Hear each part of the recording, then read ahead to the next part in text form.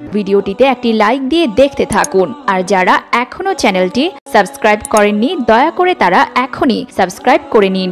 সঙ্গীকে খুনের পর লাশ ফ্রিজে রেখে বিয়ের পিড়িতে যুবক।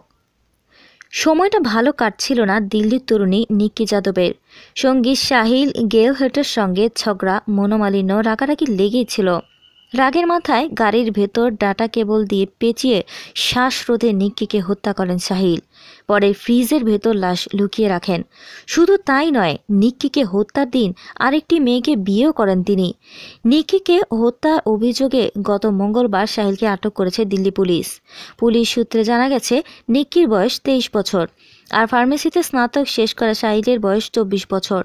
দু হাজার আঠারো সালে তাদের পরিচয়। এরপর প্রেমের সম্পর্কে জড়ান দুজনে। দিল্লিতে লিভ ইন করতেন দুজনে। সম্পর্ক ভালো যাচ্ছিল না তাদের।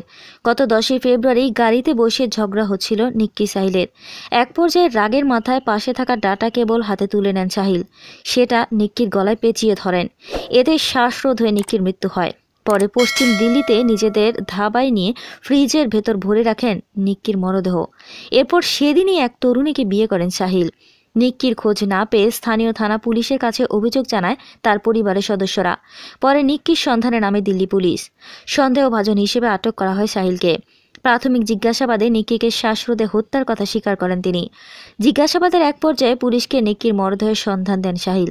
হত্যাকারী সাহিলের দেওয়া তথ্যের ভিত্তিতে নিক্কির মরদেহ উদ্ধার করে পুলিশ। পরে মরদেহ ময়না তদন্তের জন্য পাঠানো হয়।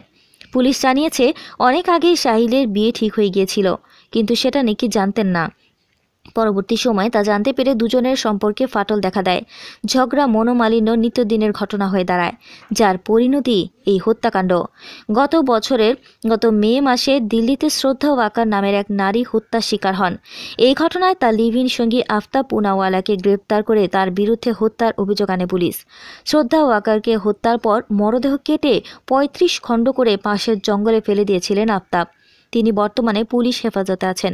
এই ঘটনা ভারত জুড়ে বেশ শোরগোল ফেলেছিল। এরকম আরও অনেক ভিডিও পেতে নিউজ এক্সপোজার টিভির সাথেই থাকুন, চ্যানেলটি সাবস্ক্রাইব করুন এবং সাথে বেল আইকনটি বাজিয়ে দিন।